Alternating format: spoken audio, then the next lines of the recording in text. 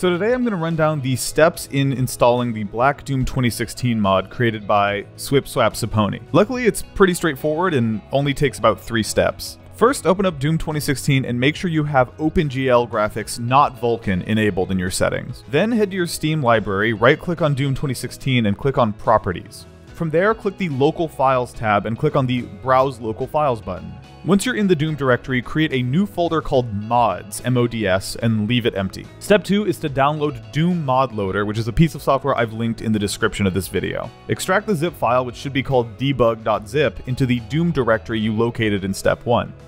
Alright, here's the last step. Go to the Black Doom link, which is also in the description below, and download that zip file into the mods folder you made. You can leave that zip file alone, there's no need to extract it because that gets automatically taken care of every time you run the game. And with that, you're pretty much done. From now on, to play Black Doom, simply go to the Doom folder and open the doommodloader.exe file. To make this a little more convenient in the future, you might want to either make a desktop shortcut or a shortcut within Steam that takes you right to this file.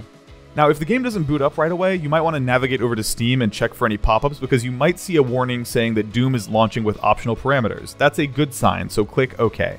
And with that, you're in. From now on, whenever you want to play Doom in dark mode, just use the doommodloader.exe file or your shortcut to it. And when you want to return to playing the original version of Doom 2016, just run Doom from Steam as you normally would. For more background into how this mod works or how to achieve a similar effect on the Xbox One version of Doom, here's a video I created that explains the entire thing. Have fun, and thanks for watching.